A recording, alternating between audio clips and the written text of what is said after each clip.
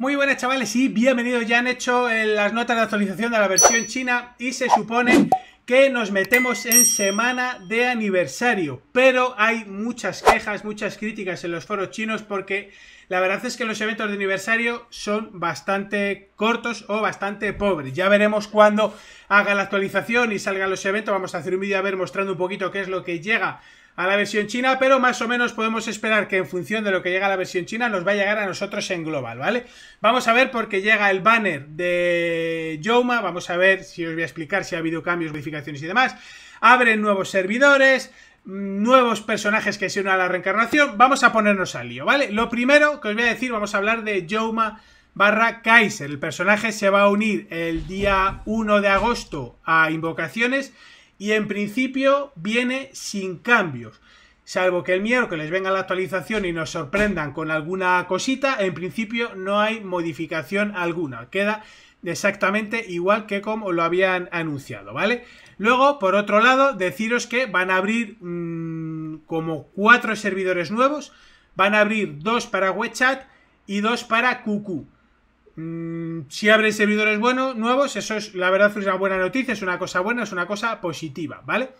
Luego, va a haber eh, varios eventos. En por un lado, va a haber el evento del jefe mundial, que en este caso le va a corresponder el tiempo, el caso a ser al dios Yoma. Va a ser el jefe mundial, por lo que nos darán esa piececita que están dando para una skin. Viene un evento que pone aquí participación en la batalla del servidor. Se abrirán batallas de servidor cruzado, permitiendo a los jugadores luchar por posiciones en la clasificación. Yo esto no sé si va a ser eh, que van a abrir batallas para que puedan jugar interservidor. No lo sé.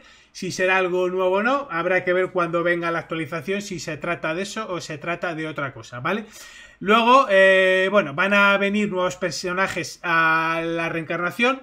Yoma va a venir directamente ya con la reencarnación activada, ¿vale? Eso por un lado. Siguiente personaje que va a entrar en la reencarnación sería Papillón. Papillón se va a unir también a la reencarnación, segundo personaje. Eh, Hashun también se va a unir a la reencarnación, tercer personaje. Eh, Dectol, cuarto personaje. ¿Me le he pasado? ¿Me le he pasado? No me le he pasado. Eh, Shijima, quinto personaje. Y el último es Canon de Géminis, ¿vale? Si soy capaz de encontrarle. Canon, ¿dónde está Canon? Que no le veo. Bueno, pues Canon de Géminis, ¿vale? El nuevo personaje también que se une a la reencarnación. Por lo cual quedaría con Yoma, Dectol, Shijima, Hasun, Papillón y Canon de Géminis, ¿vale? Canon de Géminis que al final no he tenido cojones a encontrarle. Pero bueno, ahí queda, ¿vale? Y más allá de eso, pues la verdad es que, bueno, pues ya os he dicho que la semana en cuanto a eventos viene corta. Eh, viene el evento de limitado aniversario de invocación temática. Viene el evento para reclutamiento de SS que pone aquí, comienza el evento de reclutamiento de SS, los jugadores pueden obtener personajes raros como Leo y Pegaso, no lo sé. Evento de habilidades mágicas, viene aquí, los jugadores pueden obtener piedras de habilidades mágicas, no sé si serán piedras para algún templo, algún pabellón o algo. Evento de recarga de diamantes, por lo que parece ser que va a venir diamantes dobles. Inicio de evento regalo de segundo aniversario, pueden obtener regalos exclusivos. No dice nada de medalla doble ni nada, así que bueno, la verdad es que la semana es mmm, para ser evento semana de aniversario, la verdad es que viene cortita.